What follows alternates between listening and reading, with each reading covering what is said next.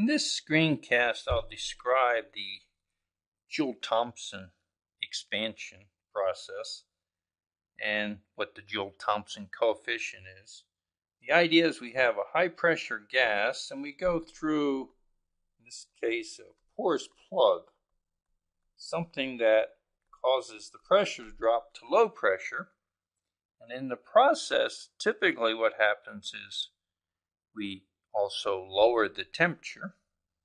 So this can be a gas at low temperature, or it can be a gas liquid mixture if the temperature is lowered enough to get into two-phase region. The way we write the first law for Joule-Thomson expansion is that delta H is equal to zero. We're assuming the process is fast enough that the rate of heat transfer is zero. There's no moving parts, so the shaft work is zero. And we're going to ignore velocity differences. So we're ignoring any differences in kinetic energy of the gas. Because it's a non-ideal gas, there will be this temperature change. And the Joule-Thomson coefficient is just the derivative of temperature with respect to pressure. This is a partial derivative. And this is at constant enthalpy. And this turns out can be written as the temperature times the partial derivative of volume respect to temperature at constant pressure minus the specific volume, the molar volume, divided by the heat capacity. And so this means we could use an equation of state to determine the Joule-Thomson coefficient. Now this can be greater than zero or it can be less than zero. What we're most interested in as we lower the pressure, we lower the temperature. But this depends on which pressure and which temperature regime the high pressure gas entering corresponds to. Then we'll do an example here of using Joule-Thomson expansion to liquefy gas and get a mixture of liquid and vapor. We have oxygen at minus 100 degrees C and 110 bar. It's going to undergo Joule-Thomson expansion to a final pressure of 2 bar. Question is, what is the temperature of the oxygen after this expansion? And if two phases are present, what fraction of the total is in the liquid phase? So we're going to use the Peng-Robinson equation of state. We'll use a spreadsheet from the thermodynamics textbook by Elliott and Lira that's available online and details of how to use the spreadsheet are given in other screencasts. For oxygen, we have to look up the critical, the heat capacity values, pressure, temperature, and acentric factor from the spreadsheet.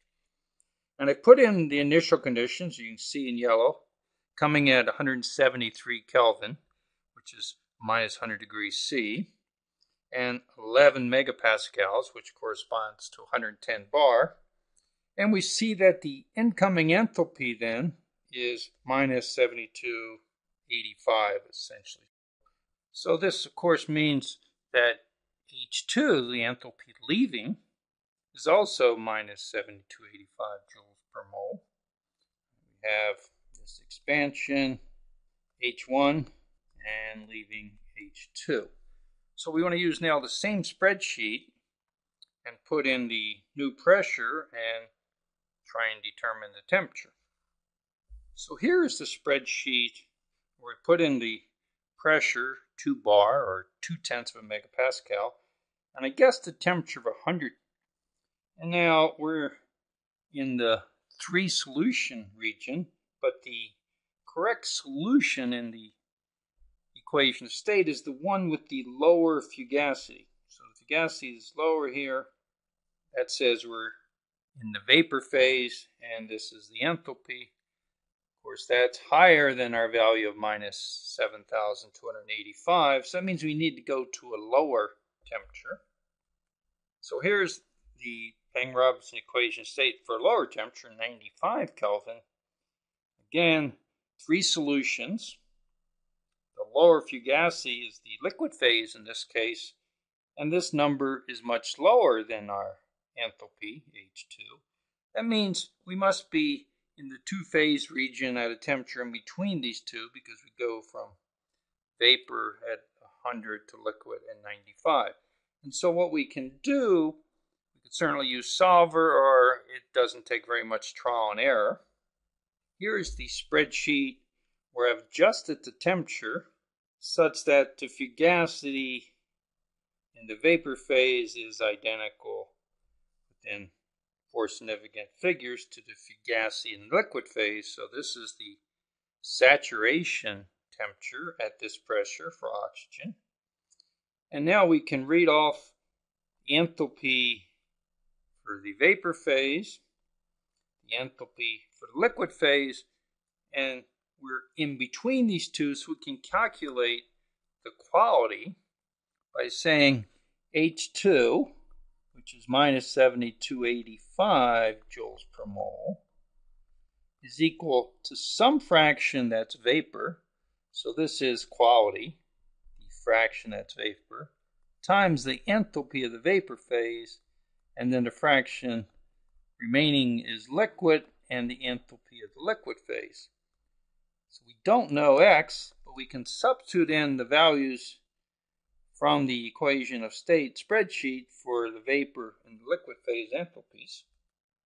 So I've made the substitution and done the math and calculate that the quality is 0.78, which means 78% is vapor and 22% is liquid. So we expand oxygen from high pressure and higher temperature, through a Joule-Thomson expansion, we convert some fraction, in this case 22%, to liquid.